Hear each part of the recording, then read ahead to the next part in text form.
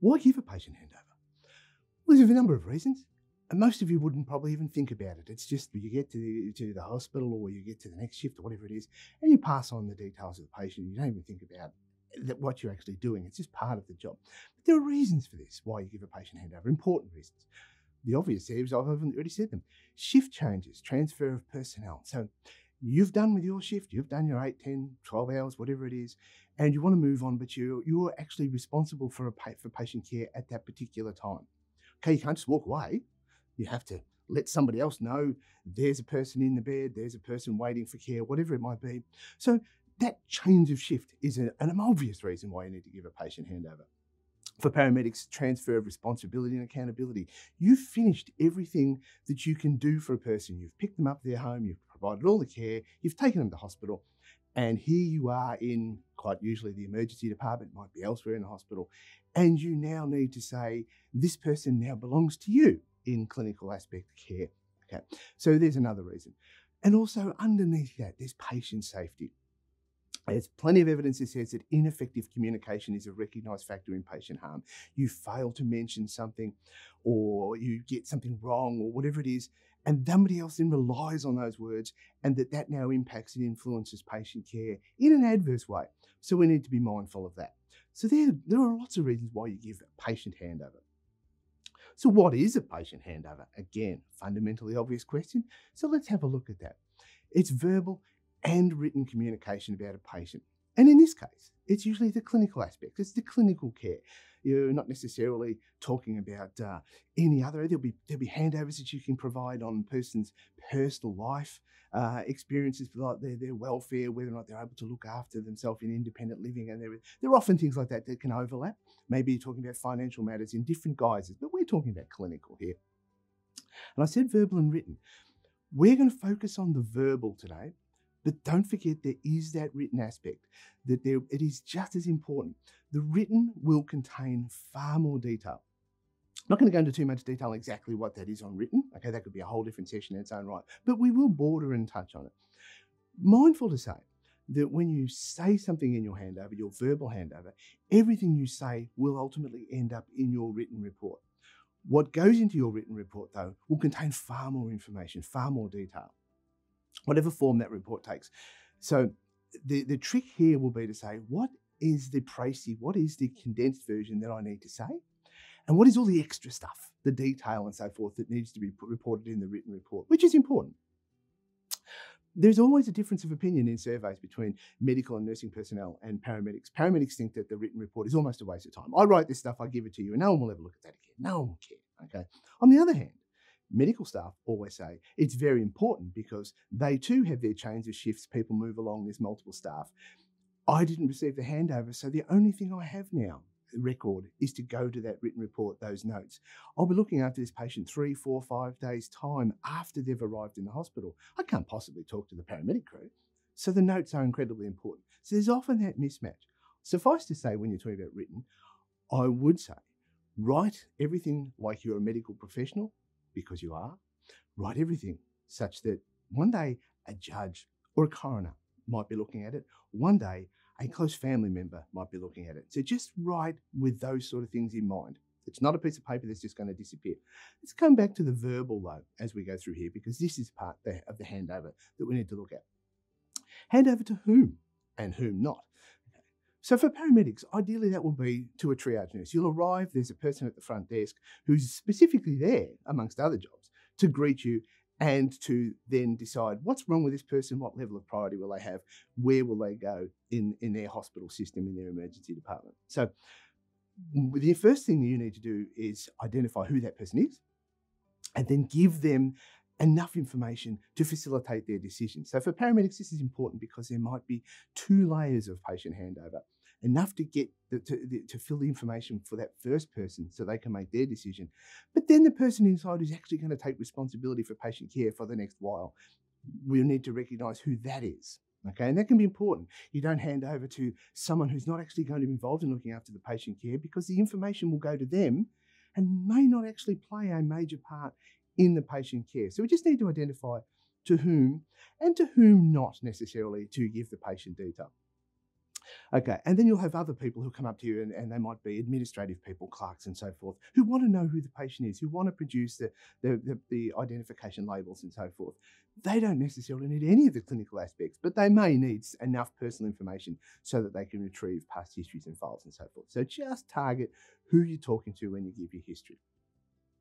Ideally, include patients. Now, this is a good thing. You shouldn't talk about people necessarily when they're they're not within earshot and so forth. This information that you're passing on is about them. It's their information too, okay? And quite often, this will be an opportunity when people will have an, a, an ability to correct you or to straighten out maybe something that you've had in your mind. A number of times I've said to a, a uh, you know a, a, triage nurse, now listen, um, the patient is um, still has their, their, chest pain ongoing, and the patient will then say, actually, it's been gone for a little while now while I've been waiting here at this uh, this reception area, and so they can correct a few things like that but they should be there so that you can include them and understand them. And so when you say this is the identify the patient, they will agree with you. Yes, that's me. Okay. Where this is a problem, we'll go into some more detail here. Where and and when. Generally, when is as soon as you arrive and you want to talk to the triage person as soon as possible, particularly if there's emergency. And when will be as soon as you get into the place where the patient is ultimately going to be left in the hospital bed, wherever that is, and uh, you want to, as soon as you place them there, you want to be able to hand over to the next person so that their care is continuous without a, a break. They're also the where places. Unfortunately, in busy emergency departments and so forth, controlling the where and when can be a bit of a challenge. What to include? This is what we're going to be talking about mostly today, so we'll come back to that. But we will be providing relevant past information, relevant current presentation, so a little bit about the person, exactly why you're here today, what, what the problem is, and some relevant future planning about what needs to be done. Okay, so if, you, if you've initiated care and so forth, you can then say, well, okay, this person still has, uh, some, some trauma, traumatic fractures, has some ongoing pain and so forth. So clearly that's going to need some ongoing care. We can't just ignore that. We've started, we can't resolve the problem, and that will need ongoing care. So you don't obviously need to sit down and go, I think the person needs to go upstairs for angiography or whatever else. Clearly they're hospital decisions and so forth, and not yours. Um, but there are some things that are immediately relevant that you've started care and it needs to be continuing. So we need to use a standardized communication with a structure. Let's have a look at some of those structures and not only use a structure, but actually be familiar and, and comfortable in using the structure, understand the structure, understand why it's there. Let's go into that because we're going to look at a couple of things now. What in the nursing community and particularly in the paramedic community are commonly used. The, the, the, the acronyms for them are ISBAR, we'll talk about that, or I understand both. So let's have a look at both of those. ISBAR, first of all, simply put, okay, I S B A R. They're the letters. Let's have a look at those. So identify the patient. The first thing you want to do is say, yeah, hello there, let me introduce to you Mr. Brown, goes under the name of Jack. So you can feel free to call him Jack because that's what he's told me to call him. Okay, Mr. Brown goes under the name of Jack, 64 year old male. It doesn't need to be a whole lot. It just needs to be this is who I'm talking about. So you've got a bit of an age, you've got a name, you've got just that, that enough to be able to say, okay, I, this is who we're both on the same page. We're talking about this person here. The situation, cut to the chase. The first thing anybody wants to know is, why are you here? When you walk in the door on a call out, you walk in, the first thing you want to know is, why have you called us? Why am I here? The next person you hand over to is going to want the same thing. Why are you here? Why are you on my front doorstep at, the, at my emergency department? What is going on? So this is 64 year old Jack. He's had, uh, he called us tonight because he had an acute chest pain. He'd had it for about two hours before we arrived. So there, that's why we're here. He's got uh, COPD and he's had uh, uh, a, a, sort of two-day exacerbation, but it got much worse tonight. He was trying to get to the toilet at four in the morning, and he's uh, stumbled, had a fall, and his family found him on the floor. That's why we're here. That's what it's all about. Okay, so it puts people in the zone of what's wrong. Background. This is where you really need to be important of what can be written down and what really needs to be said. People will be on lots of medications, will have multiple comorbidities and so forth. Are they important to this particular job? If a person has chest pain and they have, uh, you know, uh, they've had a, a, a previous history of cardiac chest pains, perhaps they've had angiography, bypass, and so forth, clearly relevant. Okay, maybe some risk factors and so forth that says, okay, the person is being we're being pushed down a particular pathway here with the chest pain and with the, with the rest of it that says maybe we should be considering acute coronary syndrome because that's what you've been doing for the last half hour. So maybe we should keep considering that. So give that pertinent background. If it's not necessarily relevant, just write it down. It doesn't need to get in the way of the handover because it becomes distracting. So you're telling me about his gout and his arthritis, his chest pain. Is there something else? Am I? Did I mis- mishear what you said at the start? Are we here for another problem? Okay. So this is your first opportunity to start to filter it out. So identification, what's going on, why we're here, and enough relevant background to support why we're here. What's associated with that call out? Um, assessment, again, another point. So this is the ISB A. Uh, this is the what is it that I need to say now about this person? Now you'll have lots of stuff that you'll be able to put in, lots of things that you you found out. The patient was wearing his uh, pajamas at the time. Was that relevant? Well, it may be, if the person was wearing their pajamas and it's 11 o'clock in the morning and they've been, been found by the home help person and clearly, and they're lying on the floor, because it says to you, clearly they've been lying there all night. Okay. Uh, that's that's the sort of conclusion you would draw, and that then leads you into all the conclusions that follow that about dehydration, incontinence, hypothermia, and whatever else might come with lying on the floor. So, in a context, that observation is important. In other contexts, if it's four in the morning you'd expect someone to be lying in bed in their pajamas, so it's not important to say. So just filter through what do you need to say that is important, what's not important.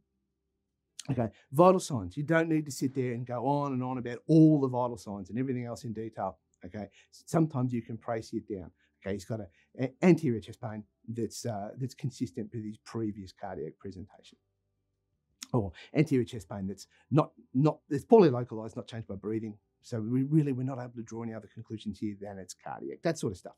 Enough to just quickly condense it down to say this is why I'm thinking it, this is why you should think it. Vital signs, all unremarkable, all within normal limits. You don't need to roll off necessarily all the other stuff, okay, unless it's particularly important. Then, highlight that. Okay, his blood pressure has been been borderline hypertensive from the start, uh, and his blood pressure is actually the last one we took was actually only 80 systolic. Okay, that that sort of thing. That's relevant. That's pertinent. That's worth throwing out there, making sure that they get that. Okay, but not all the rest of the detail. And recommendation that might be um, what are you doing for the patient? So we've been administering ongoing morphine, it still has not yet relieved the pain. Okay, so it says to someone, well, we're probably going to have to continue that pathway. So it's worth putting someone, again, you're not saying, I think you need to do this, this, and this.